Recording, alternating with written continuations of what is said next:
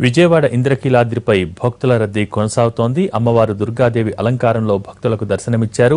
అమ్మవారి జన్మ నక్షత్రమైన మూలా నక్షత్రంతో పాటు దుర్గాష్టమి కావటంతో అమ్మవారి దర్శనం కోసం భక్తులు పోటెత్తారు.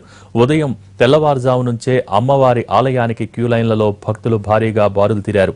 మరిన్ని వివరాలు మా ప్రతినిధి హరీష్ అందిస్తారు.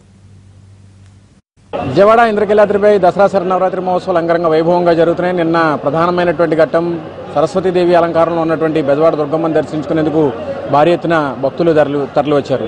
దుర్గమ్మను దర్శించుకునేందుకు పెద్ద సంఖ్యలో భక్తులు తరలి వస్తున్నారు. తెలుగు రాష్ట్రాలతో పాటుగా వివిధ రాష్ట్రాల నుంచి కూడా ఉన్నటువంటి భక్తులందరూ కూడా బెజవాడ దుర్గమ్మను దర్శించుకునేందుకు వస్తున్నారు. ఇక ఈ రోజు అలంకారం దుర్గాదేవి అలంకారం దుర్గాదేవి అలంకారం యొక్క విశిష్టతను మనకు తెలియజేసేందుకు దేవస్థానం స్థానాచార్య శివప్రసాద్ శర్మ ఉన్నారు.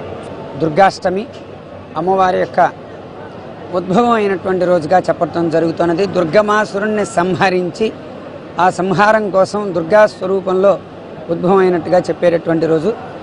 ఈ అలంకారం ఎవరైతే అమ్మవారి యొక్క దర్శనం చేసుకుంటారో వారందరికీ కూడాను మనలో ఉన్నటువంటి అంతర్గత బహిర్గత శత్రు భయాలన్నీ కూడాను నివారణ అయ్యి దుర్గతులన్నీ కూడాను పోయి సద్గతులు కలుగుతాయి అని చెప్పి చెప్పడం జరుగుతుంది. పూర్వం దుర్గమాసురుడు అనే ఒక రాక్షసుడు బ్రహ్మ గురించి ఘోర తపస్సు చేసి ఎవరి చేత మరణం లేకుండా వరం పొందాడు.